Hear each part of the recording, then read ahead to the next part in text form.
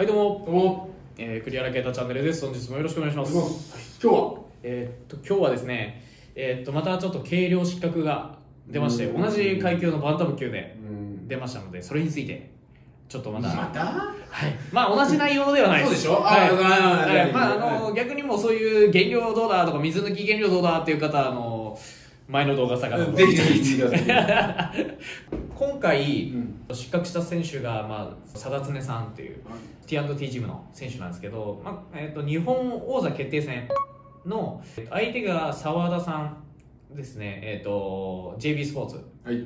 の選手と,、えー、と王座決定戦があってですね、まあ、この試合自体、まあ、今年1回やってるんですよその2人って。はい、その試合も1回やっててでその試合も、えー、と2ラウンドのバッティングでその負傷ドローになってうんうん。延期されちゃったんですうんよね、でで、まあ、今回っていう形でで軽量ミスっちゃって。うんうん。で、まあ、今回に関しては軽量に現れなかったっていうことらしくて、はい、だからあの佐々木仁さんの場合1 8キロ以内に収まったから、えー、とできたらしいんですけどあの今回佐田常さん来なかったんでなんか緊急搬送されたということで救急車で運ばれちゃったみたいなので来れなかったってことなんですけどなんで今回は試合中止っていう形になって澤田さんが次回また日本王座決定戦に出るうんっていう形になっちゃったんですけど、まあ、このまあもともと呪われたバンタム級とか言われててまだ時代が。もうバンタム級の試合が散々流れてるんですよ。うんうん。確かにイメージでそうかもしれないですね。結構流れてますよねバンダムの試合って流れてるんでちょっとこれに関してどのぐらい流れてるのかなってちょっとめっちゃ見るやん。はい。あの調べてみたんですよね。うんうん。はい。覚えてないですか？覚えてないです。あそれぐらいいっぱいあるってことですよね。そうですね、うんでまあこの澤田さんうん。がまず挑戦者決定戦に勝って王座決定戦になってるんですよね、えー、挑戦者決定戦に勝って王座決定戦ですね。そうですはいはい、はい、でそれの挑戦者決定戦に勝ったのが2019年 10, 10月なんですよ。だいぶそうなんです。結構前ですね。そうなんです。だからもう、えー、とこれでもう2年以上待たされてるんですよね。澤田さんがはい。でまた再度組むってなったらまた少し先じゃないですか。それがまず始まったのがえっ、とまあそのバンタム級の王座戦が流れ始めたのが2018年1月からなんですよね。本当だいぶ前ですね。はい。でここで、えーとまあ、軽量失格き軽量失格じゃないですね。体調不良で、えー、と中止になってうん。で2018年4月3か月後でその時、えー、と失格じゃなかった方が、えー、と怪我して中止になってもうこれ言ってっときりないな。あーこれなんかね多分ね図を入れないと分かんないと思う。そうですね、うん。ちょっと図入れます。バーってこの辺に書いておきます、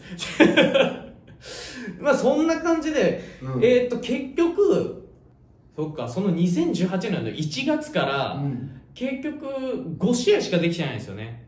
えー。その王座戦日本のバンタム級王座戦っていうのが5回しかできてない。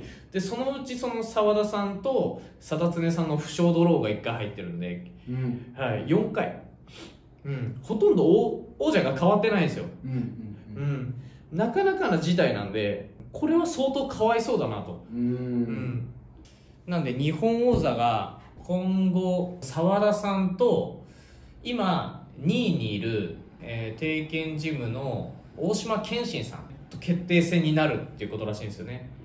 でそこが終えたらそれの勝者と堤誠也さん。うん。えー、と今あのラランキングが4位ですね。日本ランキング4位の選手と勝者がやると。そこ,、はえー、とそこまで、まあ、記事によると決まってるうん。という話が出てたので、まあ、堤さんに関しては僕、えー、拓磨選手に勝った時にやりたい相手に。そうですよね。なんかもうこっちの YouTube のチャンネルでちょこちょこ名前がちょこちょこ名前勝手に使わせていただいてるんですけど。そうなんですね。はい。はい、で今回の試合終わってからも、えーとまあ、祝勝会とか呼んでいただいた時に、うん。次の試合誰と見たいですかっていう話とかをしたりするんですけど。あ栗原さん応援者の方と？あそうですそうです、んんその時に一番名前出るの堤さんなんですよね。あ応援者の方も言ってくださるのそうそうなんですそうなんです。結構やっぱりそれだけ、えー、と国内でも強いって言われてるうん。選手。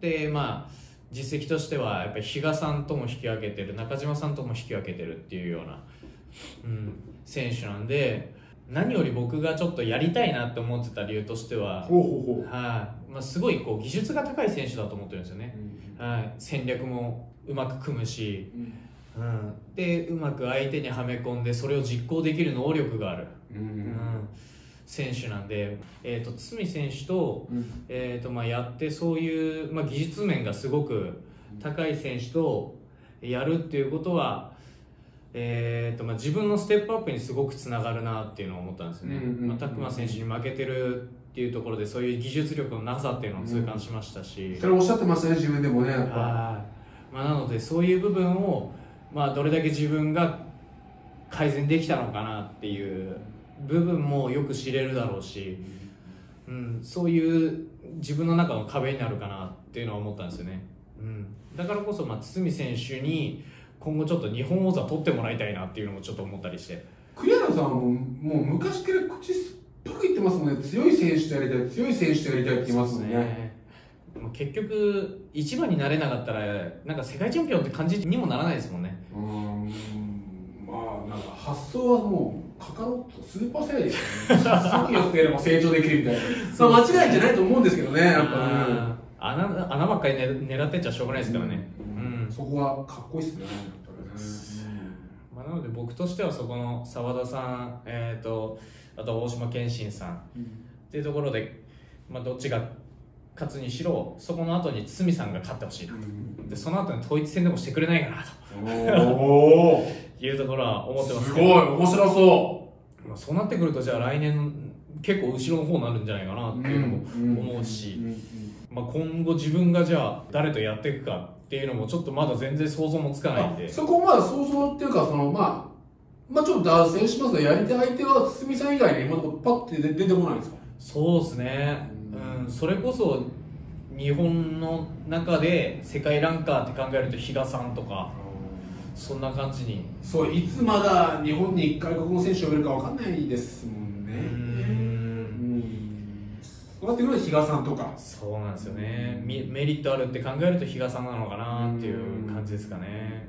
うん、まあ、そこが実現するのかどうかわかんないですけど。って感じですかね。なるほどね。はい。まあこのあとどんな相手が組まれるかわかんないですけど、うん。また決まったら決まったでこの動画通して、えー皆さんにお伝えできればなと思ってますんでね。はい。まあ呪われたバンダム級って言われてますけどもはい。彼らがその会にいるわけじゃないですか。そうですね。でも目指すところはやっぱ一番ですもんね。そうですね、うん。そこはもう応援してくれてる方々にはい。改めて伝えてください。そうですね、うん。はい。また、あのーちょっと試合が決まりましたら報告をいたしますので、ぜはい。はいひ応援の方よろしくお願いいたします。はい。